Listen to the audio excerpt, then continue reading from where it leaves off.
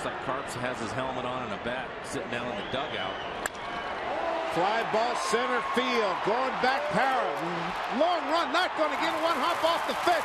Woodward with Johnson running up his back. Here they both come around. Trying to score. There's one.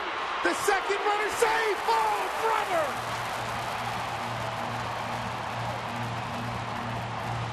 Boy, it's like they were on a tandem bicycle. Two run score. Bing, bang, boom, like that. Betancourt delivers a two-run double. Add-on runs for the Mariners in 6-2. Well, this is the reason why. He gets a fastball in the middle of the plate, drives it over the head of part of the center fielder.